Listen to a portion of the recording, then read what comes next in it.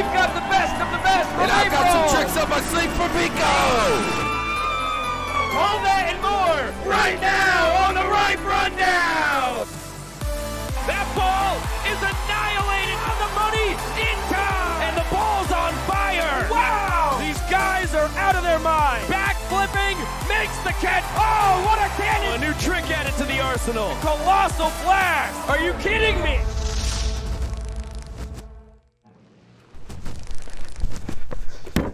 Welcome in to episode two of the Ripe Rundown. Biko Skalla, broadcast entertainer of this here club. Cowboy Kyle Luigs, the ace of your Savannah Bananas. How you live today, buddy? Pretty good. You know, we got a lot of stuff going on in April. I'm officially one year older. Um, my hairline has receded back just a tad, and uh, I threw a lot more pitches in April, and I'm, I'm looking forward to recapping them with you. Listen, showman of the night for this guy. We will get into a little bit of that and a whole lot more in the best of the best from April. It is the Banana Ball Brief. Kicking off on April 6th in beautiful Savannah, Georgia. Noah Bridges. A little cruel summer. We're in our Swifty era. Dalton Malden, he's doing his best Frankie Valli impersonation. Not just the star on the mic. Out there, Robin Reese Hampton with this hot shot up the middle. Songbird of our generation keeps it scoreless. To the bottom of the ninth we go. EJ gets plugged. Fellas recreate little weekend at Bernie's. And then later in the inning, Danny Hosley, the winning run at third, gets driven in by the other Dan of Banana Land. Mr. Oberst brings him in. After a Bananas win, to the seventh we go. Reese Hampton getting it going early and often. Solo shot to right. Jump to the players dance. Well, before we get there, Biko, I've just got to say, I thought we talked with the film producers after this. None of the home runs I give up are supposed to be in this clip. Sorry, Kyle. Let's go to Maceo on the mound instead. Oh, a little backflip pitch. Good stuff. After a furious comeback, Dakota McFadden pops it out to Baber. Animals win 5-3. At April 13th now, Joe Lytle. See you later! Celebrates with a kitty slide. Dakota Stilts Albritton with a bomb off the Shermanator. Animals still lead 5-3 in the ninth. Ryan Cox flies out. Those boys in black and pink snag another W. To the 15th we go. Joe Lytle scoring on an error, a little sprinkler celebration. Then Danny Hosley. See ya! To the land of good and plenty. And slamming that big bat on the ground. More from that later. Now Michael Deeb with the inning run on first. Draws a sprint to walk off the inning. Stilts fights an inflatable man and kicks his tuchus. To the bottom of the sixth, Bill Leroy, well, he gets nailed with a pitch. Boys are going to help him to first with a mini car. Ziggy playing with pyrotechnics. Vava tap dancing away. And now it's up to Michael Deeb. We need an inside the Parker for the Bananas to tie the game. He lines it to left center. And here comes the most dramatic play of the night. The throw to Lytle is not caught. Deeb slides in. We're tied eight to eight. And for the second time in Banana Ball history, that's how the game's gonna end. That is unbelievable. The tie it was, and the last tie it'll ever be in Banana Ball, Biko. It's Mr. Electric coming on in with the help of the Banana Nana, Zach Frangelo, and Millicent Bean Supreme, two stepping to the dish. Tyler Gillum, he's caught himself a DR Meadows. A lot of shenanigans early on, then top of the seventh. Are you kidding me? The doctor with the dinger, and that's the end of the big bat. It had a really good life. Now the Nanners down by two points. Ryan Cox, the tying run. That's a fly out to left. Party animals are church clapping after another win. We go to the capital of West Virginia in Charleston. Kyle, Jackson, and Dan all on the bump. Mr. Oberst gets the strikeout. Still goes to you though, Kyle. Now, Dakota McFadden. Fans in the stands, a lot of his friends. He's gonna take a trip to the land of good and plenty. Walk off dong. Cox takes off. Jackson Olsen. He walks off the inning. Jackson Olsen with a little power surge in April. Shout out to Rod Blackstone, the toast man, doing what he does best. Two Hosley trick plays for the price of one. Bananas win night one, four to two. On to Saturday. Bridges Brothers, little weigh-in dance. Fellas channeling their inner Avengers. Dearman leading the charge. And Maceo, he's gonna pop in the stands, handing out some flowers. Beautiful sights. Speaking of such things, Eric Jones. That guy hits balls hard. That's out of the ballpark. Now Matt Wolf playing second base. Huh? That guy is not a one trick pony. Really nice snag out of the air. Top of the eighth. Stilts. He's going to widowy gwitty right off the field. Bottom of the ninth, Bill Leroy up. It's the Prince of Banana Land, and that's the ball game. 5-2 to the Dirty Birds. They split the series. April 18th, back in Savannah. And there it is again. I mean, Bryson Bloomer, he's a great hitter, but what are we doing putting these clips in there? A guy can make a bad pitch every once in a while, but we don't need to exploit it on the Banana Ball Rundown. yeah, well, we'll, just, we'll edit those out for May. Sorry, we've got to tell the tell the people editing that uh, take out the Kyle home runs that he's given up. Jackson Olson. See ya! Another one from the kid. Jackson Olson drives it down the right field line. He's walked the inning off. Bill Lee on the bump facing Sean Fluke. That's the old-fashioned radar gun, courtesy of Mr. Oberst. Now Jake Skole. That's a single in the first. That's a homer in the third. That's a triple in the sixth. You know where this is going. Jake Skole blast that to left center. The first cycle in banana ball history.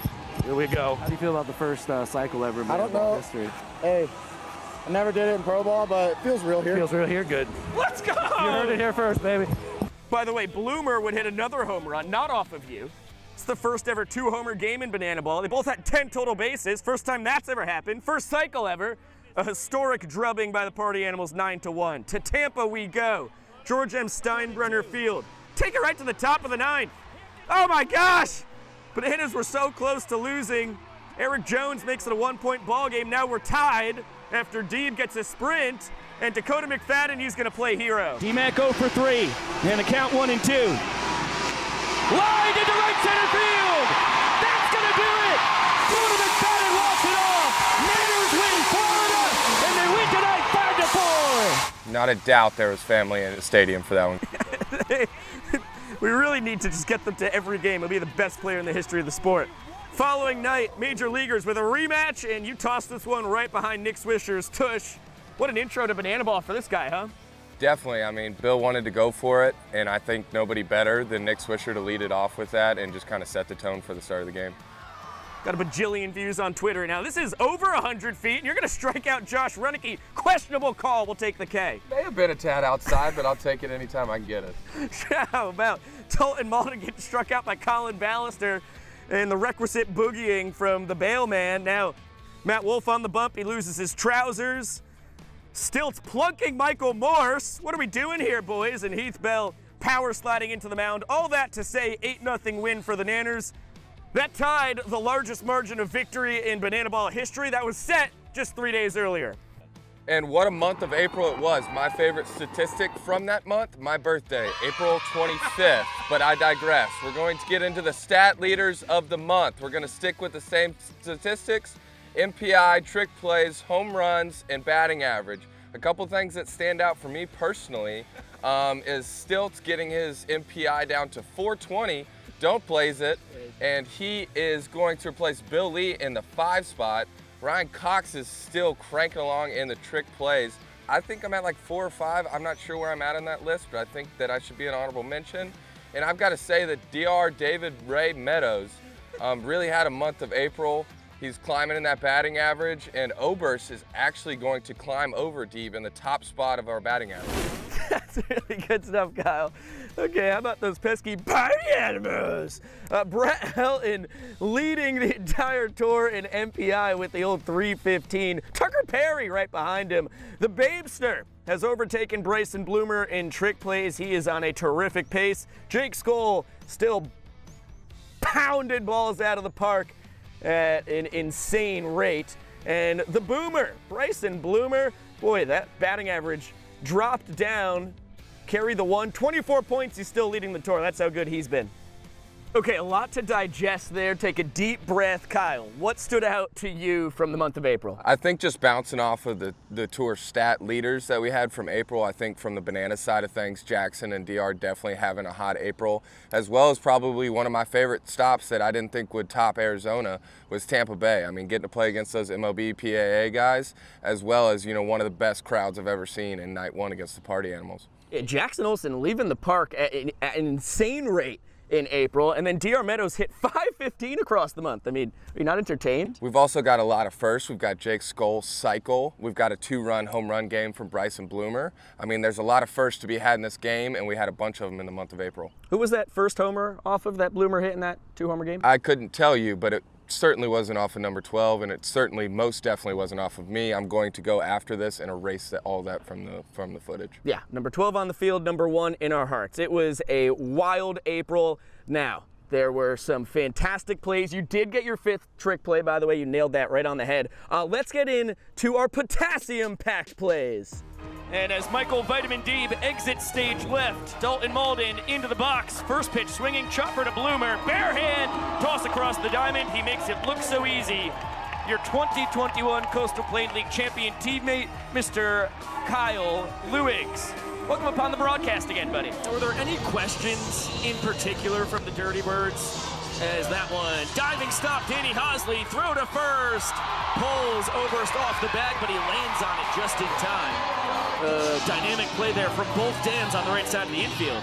There's been a lot of chatter in the pro dugout about Hosley. Where's this kid from? What's he got? They remember him shutting it down last night, Yes. strikeouts, getting hits, diving plays.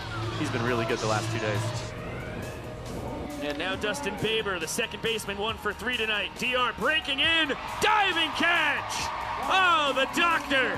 Spectacular for his second straight time tonight. Really nice play by the second year banana.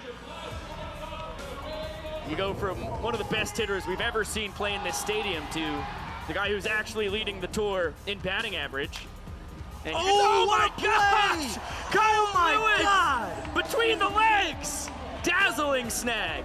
Wow. You're telling me? Are you kidding me? Kyle Luigs between the legs. Dun-na-na, dun-na-na. Not wrong. It is. Wow. That's a trick play, and throw, slap a star next to it in your book for good measure. Nearly went down into a split there That was impressive. for the second straight night. Baber mic'd up, Oh, that's a barrel. Got a guy? Flare. flies it to DR Meadows, who backflips. backflips it. He's going to try to tag. He's going to shoot him. He's gone. Put it on.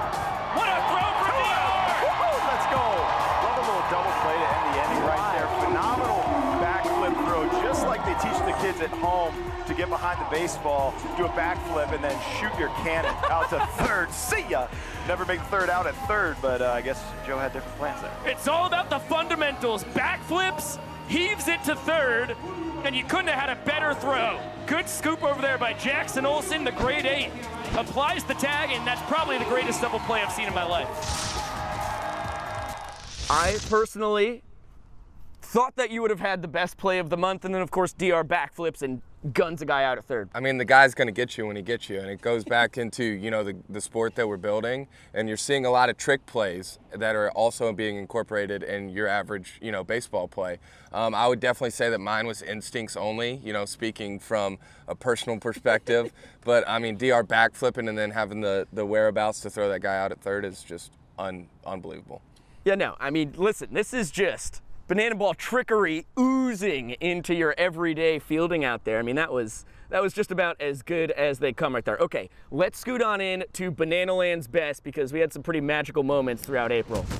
Let's jump into Biko's life here. I'm sitting in the broadcast booth. All of a sudden, I see a line of players, flowers being thrown. Kyle's in dead center of it. What's happening, buddy? Well, wedding in March and engagement in April. I get to be a flower boy here. I also get to shoot off the little poppers when she, in fact, said yes. I'm not sure what that was. I can't even remember what song was playing, but it had to get my tookish moving. And I can't think of a better way, you know, pregame than to have a little bit of love in the air. And then to Tampa Bay we go and talk about a strong six-year-old. She's already beaten cancer. Jaylene, what a rock star. Yeah, definitely. And this was a cool moment for, I know, especially um, me, Ryan Cox, and Jackson Olson whenever we got to make a, a video for Jaylene about three months prior. Um, so it's one another one of those really cool moments where it comes full circle and you actually get to meet them at the game and have that face-to-face interaction, which just plussed it even more for us. Shout out the Children's Dream Fund for making that happen. I actually wrote a song for Jaylene. You can guess what it was too. I didn't get to see her, so I'm just saving that for the next time she comes to Banana Land. And that was just a couple of the uh, amazing moments that we've had. There's too many to throw in one video. Yeah, I definitely hope that we have at least one of those every month. And it's so cool to see these kids and their wishes and the things that are making them happy in such a tough time in their life is the bananas. I mean, it's, it's the coolest thing that I've ever been a part of. Yeah, speaking of, JJ has been back around a bunch of times. He's starting to swing the lumber, man. He's got a good he's got a good cut. First time here throwing it, second time through um, swinging it. You know, next time I'm hoping he's dancing, maybe getting on top of the dugout, getting into the rest of the banana ball antics. I love it. We'll we'll definitely have that on the docket. Okay, let's scoot on into a brand new segment, Kyle. All aboard, buddy, because it's time for Celebration Station. we are celebrating our best celebrations and some of our more unique shenanigans in Banana Land. How about DR? You saw him hit this homer in the banana ball brief, and then he's gonna shatter the big bat on home plate. The train has left the station and the big bat has left the stadium. RIP to that one. And what is what is this? Speaking of leaving the stadium, Gosh darn it, see ya. Bloom. Bloomer off of me, myself and I. And he's gonna take, I mean, there's no better way to celebrate a home run than the slip and slide at home plate. I was a big fan of that. And then here is our director of entertainment, Zach Frangelo, and our queen of the K Club, Millicent Bean Supreme. Could you and Bill do this one? Seen that at Saddlebags once or twice, and I think everybody's feeling how Joe Lytle's feeling in the background there. I mean, that was hot and spicy. And Zach would ground out. On to Charleston. DR gets plunked. A little woozy, hits the ground. Uh-oh. What's the what's the way to get this guy to first? Well, obviously, the little banana mobile there. Must have taken that thing to AutoZone because that thing is purring down there. no sponsors. Okay, Eric Jones, he gets nailed, and now it's weekend at Bernie time. Uh, shout out Noah Bridges and the Invader for just keeping him afloat. yeah, is he dead or is he alive? Is his neck up? Is he going to be able to run to second? All questions we will answer after this. okay, we're back. Uh, yeah, let's, so he's he's he's not dead. He is alive, He is very much alive. He's still with us. and he did run immediately after that. And yeah, one thing that just stands out to me is I don't, I don't know what we're doing. I don't know why that clip keeps get. I mean, we've, we've, uh, we're, we're trying to squeeze it into every segment that we're doing this, this recap. Yeah, Chris Sachi hasn't been here a month, and he is just. I mean, Bloomer hit, it- hit it good. Don't get me wrong, but I mean, It's been torture for you this morning, huh? it's enough. We appreciate you suiting up and going through it with us. Scooted on over to our best trick plays of April. You voted, we counted them, you spoke, and DR's backflip was the best of February and March. It will go up against the best of April. It's time for the ripe stuff. Coxie again at short, using the noggin boss, the extra size hat for a catch. That's the first out of the game. Yeah, definitely. Way, good way to kick the game off, and just the, the the whereabouts and the knowledge to go straight to the noggin boss on the jam shot from Reese Hampton. And I think the the, the level of degree, the difficulty is just is not known. You know, first game in the noggin boss, we don't know how hard it is to catch one in there. and the glove magician with an excellent play there. Now we go to his counterpart, Chase Acuff. Bounce pass to the bare hand. Baber to first. Two outs. That one's sweet. yeah, as you would call it, cute, some would say. And you're very fond of that play. You know, sometimes that infield dirt is hard as a rock, and sometimes it's just straight up mushy. You never know what kind of bounce you're going to get, and for Baber to go barehanded right there into a smooth transition for the 6-4-3 is just next level. Baber's been the king of the bounce on the tour thus far. Acuff getting in on the action. Those boys smooth as silk up the middle. Now to number three. Breland's at the dish. Chap, chopper up the middle. Ryan Cox between the legs. 360. Two trick plays for the price of one. This was sweet, and we haven't seen anything like it. Couple things worth noting here is the trip to the celebration station that he takes with his teammates after the play. Yeah, the people watching at home, I mean, the degree of difficulty on the 360 throw up the middle to first is hard, let alone going between your legs before that, as well as Dalton Malden and Split all hanging out in center field with DR Meadows. There's a lot going on, as per usual, in Banana Land. The Glove Magician with an excellent play. Here is Breland. He's been going between the legs nonstop in April. He's got that football again. He is very fond of that football. I don't think he can decide which sport that he wants to pursue professionally going forward. Right now it's baseball, and he is catching everything in between his legs. The guy literally can't stop. Well, he was actually the Gatorade Player of the Year his senior year in high school for football and baseball in Hawaii. Uh, so I guess he could keep carrying around this puppy wherever he goes. Yeah, Breland with an assortment of athletic equipment with him, depending Yeah, on the kickball earlier, depending on the night. children's chair. Now, our fifth and final play, Bryson Bloomer. That's just a web jam. Oh, Breland on the other side of the diamond, between the legs, gyrating the hips, football in hand. This was next level. And it's going to start as a normal play, leak into a trick play, and Breland Almadova is doing everything in between his legs in the month of April. but it's, it's the exact opposite of DR, which was the backflip trick play going to a top play. That is absolutely correct. Another phenomenal month of trick plays. Remember, you will vote now DR's backflip against the top trick play in April. DR's backflipping in March. He's backflipping in April. He's going to backflip whenever he's 100. There's no doubt about that. We have a bunch of good trick plays here. We had a great month of April. I'm a year older. You guys don't forget that. and I'm looking forward to a great next month we've got going into May. We'll see if the Boomer and Breland can dethrone the backflip. It'll be, re- be really fun to see. Okay, that is all for us. We will see you again in the month of May. It's gonna be May. April showers bring May flowers. See ya! Catch you on the flippity flop. We'll see you later!